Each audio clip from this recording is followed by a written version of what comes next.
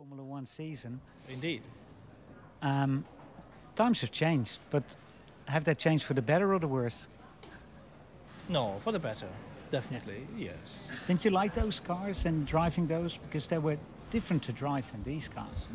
It was less There political, maybe. yeah, there's different chapters of what you may like or, or dislike, but uh, through the development of all those years, um, it has been interesting to follow this one. And Yes. the good thing is Formula One just never stands still. It just always keeps going, always keeps developing, always new items, new stuff. And whether it's different, it's not different, uh, uh, is not the point, but it's this constant uh, forward. Yes, I think I think the biggest difference probably is, has been like when you Eddie's team, Eddie Jordan's team, where you started was a big Formula 3000 team almost, and and the teams have grown from like you know 50 people, 100 people to God knows how many people. Yeah, I mean that is obviously different. I mean, uh, Yeah. you can't do as easy, or you can't enter Formula One as easy as you used to. But I think it is uh, in all professional sports. That's the normal uh, happening. Yeah. Have you realised that if you would have done one more year, you would have had all the records in Formula One? Because most stars is still held by Rubens. Yeah, but you know, I, I prefer the records for success rather Yes. than for being around. I figured you would say that. Talk about success. I mean, the first success came at Benetton. Um, what I remember of the early years was fight with the Ford engine against the Renaults. That was the main, and even the Hondas.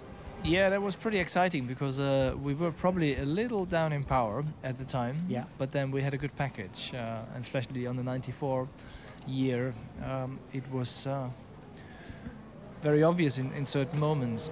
But then it shows you occasionally it's not about uh, not all about horsepower. It's Yeah. it's about drivability, fuel consumption. It's a package. Uh, many other items that they Teamwork. teamwork for sure, uh, and then. Uh, not to be forgotten the aer- aerodynamic side. Yeah. And then the big, the big jump to Ferrari with very difficult early years. Uh, basically, it was one difficult year. I mean, it was the '96 that, that was a bit of a shock. Uh, Yes. I mean, we How big of a shock was it? we had a parachute as a as a as a race car, and, uh, but other than that, I mean, we still managed to win uh, three races in that year, and um, I think the highs, the highs were good. The highs were good, but I remember. I think it was the French Grand Prix where you didn't even get to the start Yeah. because the engine stopped. Yep, uh, yeah, that's uh, some of the moments uh, that you'd rather forget about. Yeah, but could you see then, like, in time, that team would be unbeatable, or did you did you think that the success would come earlier? I mean, nobody could have imagined that we would have had a series from 2000 to 2004. That was not imagine, uh, something to imagine, but it was to imagine that we will become a top team. Yes.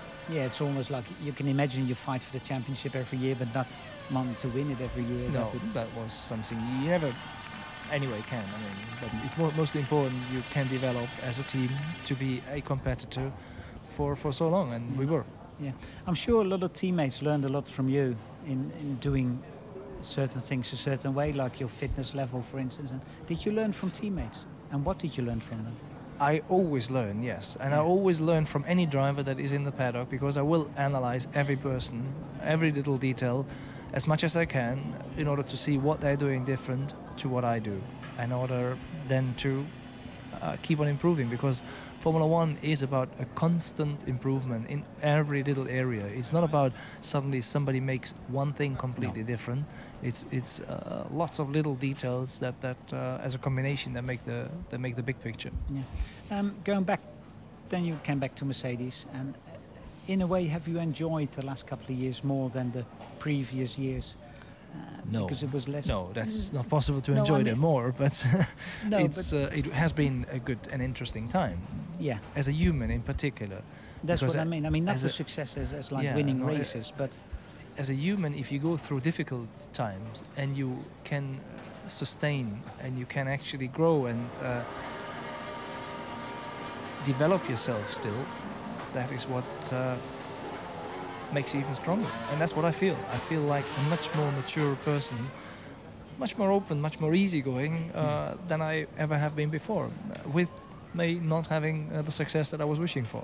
yeah, but that's the result on the track. Maybe not what you wish for, but the result off the track is is a big bonus. yeah, then. yeah. But uh, hindsight, I've had so many good days of, Yeah. of success, so You can't you can't always have everything that, that you wish for. Yeah. Um, there's a couple of young kids coming up in Dutch kids.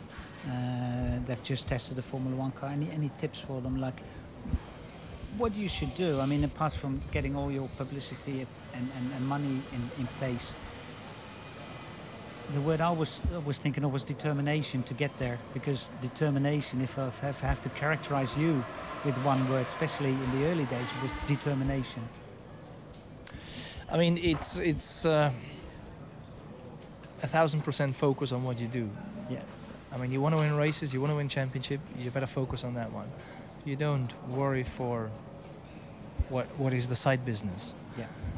And uh, I think because I I have set some some new standards in in that respect, not only fitness but in in, in other respects, and I think. Uh, uh, the smart young generation can easily understand and see.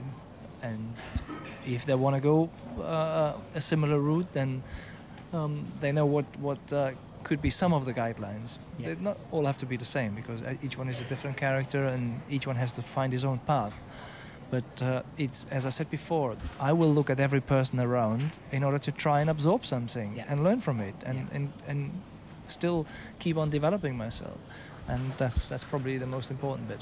Yeah. After racing Formula One cars, I suppose uh, things like Le Mans or maybe even the Dakar Rally, which is really popular in Holland, are not on your radar at the moment. Oh no, not at all, not at all. there are much more fun things to do. Yes, um, quickly talk about that because um, I think we might see each other more next year, even more than this year. Not only that, we might even compete. exactly. For the first time in our lives. yeah, you like the horses. K- Corinna uh, loves them. Um, I think you like them, love them because of Corinna. And, and I got to love them and learn them and understand them through Yeah. Corinna, absolutely, yeah. And it's uh, a world that uh, I'd like to have some part- participation in the very low-level class, not not Yeah, anything like about. Yeah, but you're almost expert now already. no, no, no, no, no. If you go for horses, then you got to go for those horses because they have that particular and Yeah. special character, yeah. so well balanced and uh, yeah, just uh, good companies. Yeah. Can I thank you for the last 20 years, giving all the fans back home and me some really nice things to watch. And uh, I really look forward to competing against you next year, Michael. Well, let's keep it up. Thank you very much.